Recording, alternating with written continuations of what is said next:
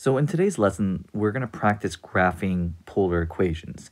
And honestly, once we do one of these, you'll pretty much get the hang of it and you'll see that it's just a lot of plug and chug. We're just going to be entering values into a calculator and you'll really be able to get the hang of it and do the rest. So I'm going to model one for you and I will go ahead and post the graphs for the rest of these uh, in both the classroom and in um, our class locker. So you can go ahead and take a look at those. But I really feel like once you do one, uh, you'll you'll be fine. Again, I encourage you to have one, um, the notes printed out in front of you so that you're not trying to draw this freehand. And two, just having access to a graphing calculator to one, get the values pretty quickly and efficiently, but also be able to check your values um, and check your graphs also would just be beneficial for you. So if you have all those in front of you, let's give this a go. So first of all, we have our polar axes right in front of us. So like I always recommend, we're going to go ahead and start by labeling our polar axes. So I'm going to go through and I'm just going to label these. Now, the polar equation that we're given right here is r is equal to 2 plus 4 sine theta, and this is a limacon.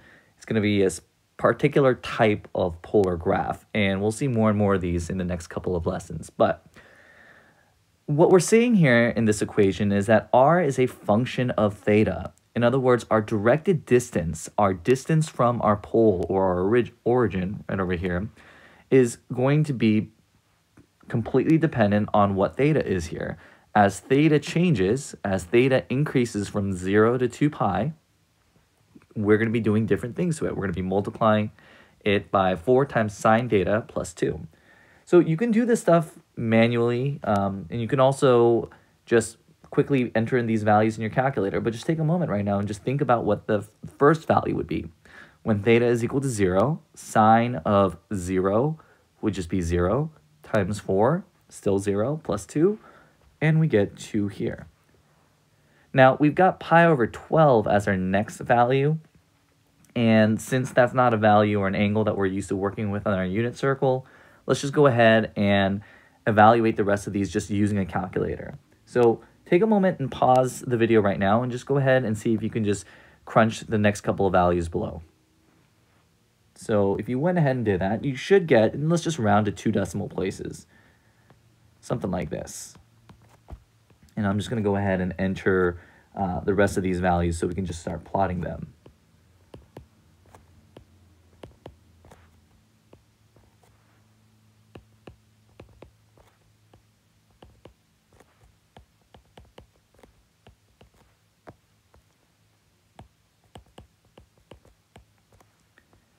And when we do the second column over here, we should get these values.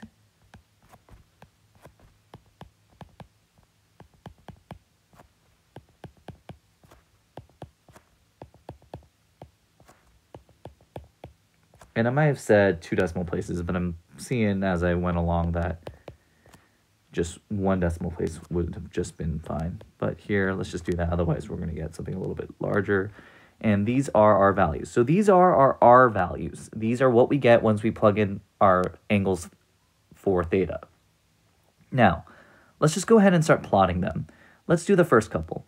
So when our angle is theta, or excuse me, when our angle is 0, our R value is 2. So we're going to plot a point right over here. There's 2. When theta is equal to pi over 12, we get 3.04. So we're going to just plot a point that goes a little bit after 3 there. When we get pi over 6, our r value is 4. Pi over 4 is going to give us 4.8, which is right around there. Pi over 3 gives us 5.5, which means we're going to jump right around there. 5 pi over 12 is going to give us 5, uh, 5.9. So really darn close to 6. Oops. And then right over here, we're going to get this value. And I'm not going to call out every single one, but you should then proceed to get these values. And you'll notice, and hopefully you'll notice, that they seem to right now have some level of symmetry. So we're at 4.8, if I'm not mistaken. And this would be 4. And then this is a little over 3. And then back down here, we're at 2. So you could go ahead and start plotting the rest of these points, or you can start connecting all of the dots.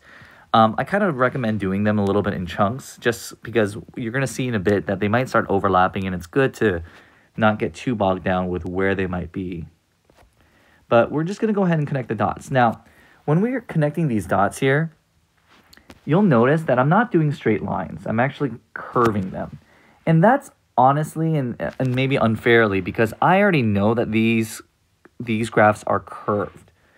You don't know that just yet because you haven't really worked with too many of these. But if I were to decrease my step size, in other words, if I wanted to plug in a very, very small angle, like one degree here, or whatever that might be in radians, I would get more and more points that would actually lie on these.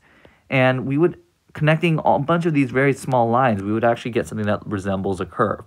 So you're just going to kind of have to take my word for it, or you could go ahead if you don't believe me and just start plugging in very small angles for theta and connect those dots that way. But you're going to see that after a while, we're going to get something that really just starts curving like this. Okay? Not a great looking graph, but you're just trying to get the idea of what a polar graph would look like. Let's go ahead and try our second column now.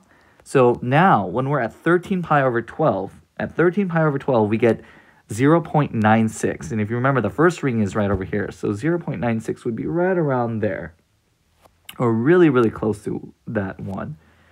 At 7 pi over 6, which is this angle here, we're back at the pole. So let's just go ahead and just connect that there while we're at it. And just you would see that looks something like this at 5 pi over 4. So this is a little bit hard to see because we're at 5 pi over 4 now, which is right over there. At 5 pi over 4, now we're getting negative 0.8. If it were 0.8, we'd be somewhere around here. But because, oh, excuse me, if it were 0.8, we'd actually be somewhere around here. But because it's negative 0.8, we want to remember, reflect over the curve or the pole, and we should actually be right there. And you're going to see that the rest of these values now are, or from the next couple of them, are also going to be negative. So at 4 pi over 3, we get negative 1.5, which is here. 17 pi over 12, we're at negative 1.9. 3 pi over 2 is going to be negative 2.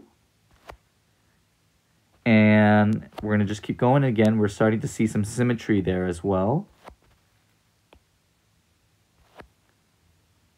and then we're back at zero. So if we connect the dots that way, we're going to start to see something that looks more like this. And actually, wasn't really happy with how that last one looked, something like that. So now we're ready to move on to the next couple of angles. And so I think the only ones that we were left at were 23 pi over 12, which should be 0 0.96. So again, this is my angle, 23 pi over 12. Since we have 0 0.96, which is again really close to that 1 right over there. And at 2 pi, which is right over here, we're back at 2. So we would get this. So that, ladies and gentlemen, is a limacon. And if we were to follow the order in which these points were plotted, Notice, we didn't start at the pole. We actually started here at 2. So this is the direction actually that we moved. Oops. We went this way. Okay. Let me do that one more time. We started at 2. And we ended back at 2. So that's what's a little bit tricky about some of these polar graphs is that we won't always start at the pole. In fact, it won't, just by looking at the graph itself, it's not always going to be clear to us where exactly was the quote unquote starting and ending point for our angles from 0 to 2 pi. But the process of actually creating these polar graphs aren't too bad. We're just going to have to plug in some angles, see what our, our outputs are for our values are, and just go ahead and plot them. Take a moment right now, try the rest of them, and then check them with the graphs that I have a little bit later. And I know this was a little bit of a shorter lesson. Fortunately, it's not too bad of a lesson for today. It's a little bit of a shorter one, so I'll leave you with this joke. There are two bears, a brown bear and a white bear. And the brown bear says to the white bear, Hey, why are you always walking around in circles? And the white bear says, Because I'm a polar bear.